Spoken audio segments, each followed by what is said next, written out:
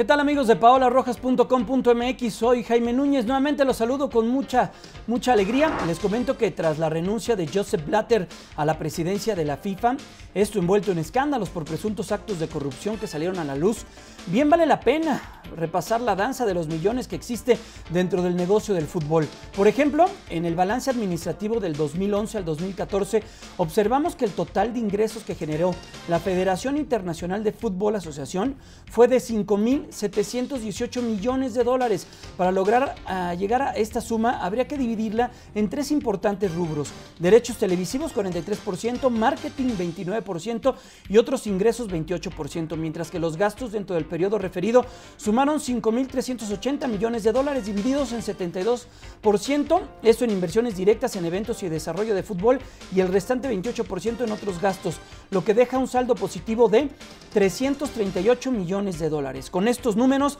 la federación suma reservas por 1.523 millones de dólares, lo que les brinda independencia económica y capacidad de reacción ante imprevistos. La joya de la corona para el organismo es impulsar, sí, la organización de la Copa del Mundo. Por ejemplo, en la pasada edición se en Brasil, los ingresos aumentaron notablemente en comparación con el ciclo anterior. Esto debido en buena medida al incremento de la venta de los derechos, sobre todo en la comercialización y todo lo que tiene que ver con el ámbito televisivo. En este sentido, vimos que se rompieron varios récords de audiencia a nivel mundial. Vamos a citar un ejemplo. Vamos a dedicarle a Estados Unidos. Ahí el, seguimiento de la selección a través de la televisión se elevó casi en 44% en los ratings comparado con la última justa mundialista de Sudáfrica 2010, esto según datos de Nielsen. La FIFA también ha contabilizado los beneficios de los derechos de la venta de entradas. En ciclos anteriores se había cedido esto al comité organizador local.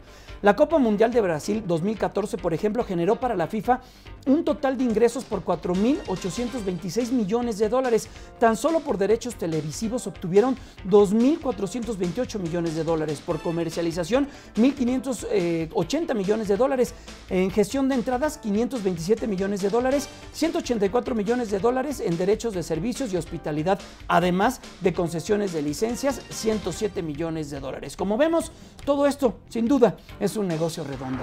Hasta aquí con la información, soy Jaime Núñez, regresamos con mucho más aquí a paolarrojas.com.mx.